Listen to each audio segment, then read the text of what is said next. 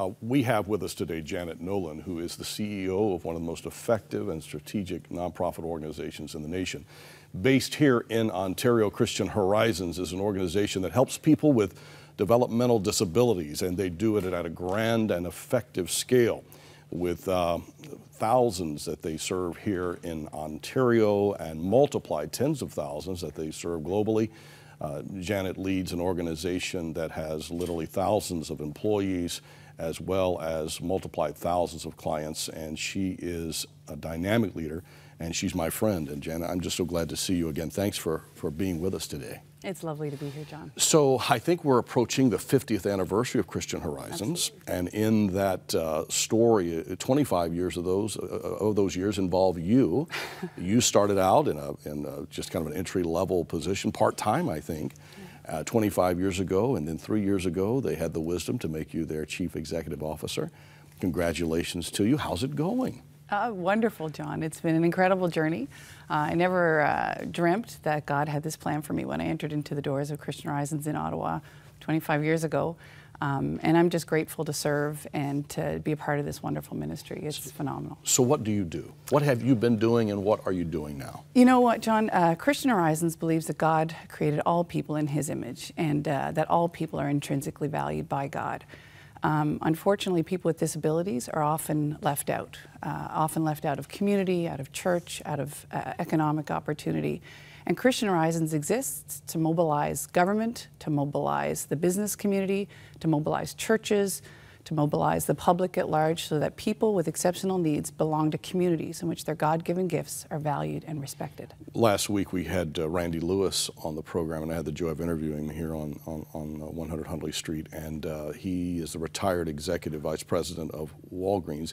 It's a name you recognize, not just Walgreens, but Randy, because he has been extremely uh, involved, as we talked about on the program, of trying to get people with disabilities into the workplace and treating them the same as everyone else, expecting the same uh, outcomes of their work, and as well um, uh, paying them the same. And it's, it's, it's, a wonderful environment. He has a slogan that uh, it, it, we're all us, and, and on his, in his warehouses with 8,000 employees where they work, they have, a, you know, they have the word them and then the red circle and a red line through it. There is no them, it's all us. Uh, you are in the same way as he has been doing in corporate America, you're doing across Canada through, uh, as you said, government, through businesses. You've been also bringing awareness through churches. And if I remember correctly, the organization was founded 50 years ago because there wasn't a lot of church ministry or care for those that had disabilities. Absolutely, John. Uh, 50 years ago, uh, there were uh, the government was looking to how people with disabilities would be supported in communities across Ontario and across Canada, and the birth of the community living mo movement uh, uh, was uh, what happened. And, uh, you know, Jim and Adrienne Reese, our founders, uh, they looked around. Their son, Stephen, was born with a developmental disability. And they saw community a little bit differently. They Certainly, community could be geography. Uh, they also believe that community could be a, a, a, place of faith, a community of faith that could reach out to people and provide services and supports uh, within a Christian environment to people with disabilities. And that was the, the beginning of Christian Horizons. And certainly, we started very modestly with a, a small camp. Uh, and we've actually grown to be the largest service provider in Ontario. Um, we have 3,400 incredible staff members that uh, serve on our behalf every day. You can't do it without the team. Oh my goodness, they are phenomenal. Um, but it's more than that. Uh, Christian Horizons, certainly we, we strive to be an excellent service provider. We desire to uh, provide programs and services that are relevant and current and, and create opportunities for people with dis disabilities in their communities. But we also see as an, our, uh, our responsibility as to be a, a bridge builder. We believe that government has a role to provide uh, funding and services so that people with exceptional needs have the right uh, housing and, and, and opportunities for learning uh, in, in their communities. Right now, there's more than 20,000 people waiting for services. We're excited that the government is, is, say, is say, say, that again. There in Ontario, there are about 20,000 people waiting. waiting. for services. Oh my! Uh, go, the government in uh, the proposed budget has just announced a, a huge increase in funding, and, and we're thrilled with the role the government is playing. But it's more than the government's responsibility. Uh, we believe that there's a great business case for people to hire people with disabilities. Walgreens is a phenomenal exper- uh, example of And, that. and Randy Lewis told me that there are Canadian companies, pretty ho- high-profile companies, uh, Tim Hortons. Brand, brands in this country that are beloved, that are engaged in, in changing their approach to, uh, to to people with disabilities and hiring. It just makes good business sense. People with disabilities make great employees, and uh, I believe that the inclusion of people with disabilities in whatever group that you're, whether it's a school or a, a business environment or a, a church community, people with disabilities have something to contribute. Contribute. Janet, when people talk about um, community transformation, they'll talk about uh, the influencers in the society, the institutions like education, schools. You mentioned government. We, we, we, we are media here and, and, and have influence and, and through other outlets, this program and others. But you also have, for people of faith, uh, houses of faith that are influences in communities. And somehow you folks have beautifully, through the decades, been able to navigate through some partnerships. And as a result, you are, are bringing about transformation as an organization. You know, there's a, there's a really amazing story growing uh, within the Christian uh, faith community uh, in churches right across this country. Um, I think uh, churches are, are at a place where they're recognizing people as dis- with disabilities as, as uh, equal members of their, of their congregations. And they're taking steps to, uh, to include people with disabilities in all of the activities, not as, a, as, a, as recipients of charity, but as, as, as members, as citizens, as, as people that belong to that body of faith. Next week, we actually have a, uh, a pastors' conference uh, at Harvest uh, Church, just down the road from here, Sure. Harvest Bible Chapel. Um, and uh, it's called Communities of Belonging, and it's a, it's a conference for pastors and church leaders. You're sponsoring it? Mm-hmm. We'd love for people to come. If you check out our website, certainly there's information. Uh, I think we have some spaces left. It's filling up quickly, uh, but it's a, it's a, just a day-long conference, and it's uh, three incredible speakers that are going to help shape church leaders' perspectives and, and give them ideas and, and generate conversation. This is so important because oftentimes I was I was a pastor for many years, and and, and I, I was in an era of pastoring um, in the in the 80s and in in the 90s when we just really didn't know how to approach. We didn't know how to start. Yeah. And I remember being in those days and, uh, and and being in some conferences and sending staff to conferences like that. So you're providing people with encouragement. You're providing them in this conference strategies. I would imagine some resources. absolutely opportunities for training that we could do uh, with churches.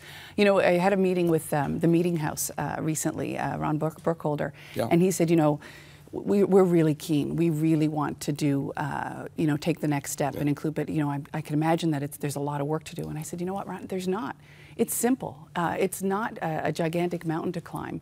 People with disabilities belong to communities. We just need to, to figure out what are some of the things that we can do to equip people so that they ask the right questions and create the right scenarios and the right uh, um, places where, where families and people with disabilities are just people. And it so echoes the, the message of our Savior. Absolutely. You know, the, the, the kindness, the caring, the consideration, the touch of people that are hurting and wounded and struggling, and uh, people that are oftentimes discounted or marginalized by a larger society and, and to our shame. But to see uh, citadel churches like Harvest and, uh, and Meeting House uh, in, in our province, and to know that there are other citadel churches, leader churches that are across the country, kind of set the tone. Absolutely. It's just phenomenal to hear. You know, I uh, recently spoke with a, a, a person who uh, had done some teaching uh, in one of the Christian schools, and he grew up in the Christian school environment. And he said, you know, we had a, a graduating class that were filled with a couple of characters that could have been a real challenging class, and people still to this day, years and years later, talk about that class and how caring they were and how uh, incredible they were and, and what leaders they, they graduated as. And he said, You know, I attribute it to the fact that there was a, a, a girl, a student with Down syndrome in our class, and it created opportunities for everybody to just be more considerate, to reach out, to maybe uh, uh, think about how they behaved, hold a door, and it gave them an opportunity to be their best. And uh, he said it's it's when all people are included, we all are better. Yeah, the, uh, being, it, it causes you to be others focused. And uh, we're so grateful for opportunities to share about Christian Horizons.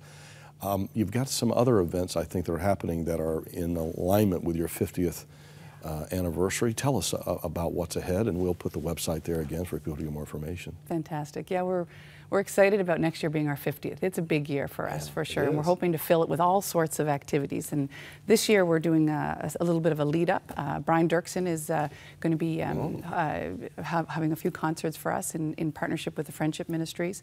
Um, in addition to that, we've got uh, a big kickoff uh, at the end of November uh, honoring the International Day of, of Persons with Disabilities.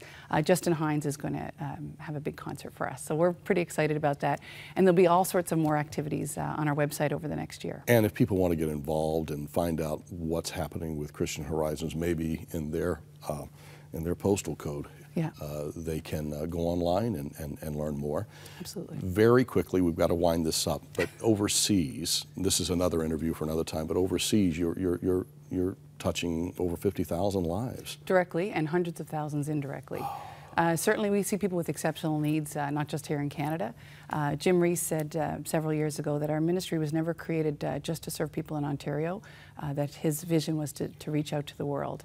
And we right now are working directly in seven countries, seven, seven developing countries. We have children's programs, we work in partnership with church and with government. And we've been able to do kind of what you described here in Ontario. We've been able to uh, bring what we've learned here uh, to a developing community. And to be honest, I look forward to that next interview because what we've learned in developing communities, we need to bring back here to Canada. Uh, this is so good. Uh, we're going to continue this conversation on Crossroads 360, and it'll be available to you very soon. And I hope that you'll check it out. And I want you to come back and be our guest again and again. I always enjoy seeing you. You're a great leader and lead a wonderful organization. Thank you, Janet. Thank you for And thank you, Christian Horizons, for all you're doing.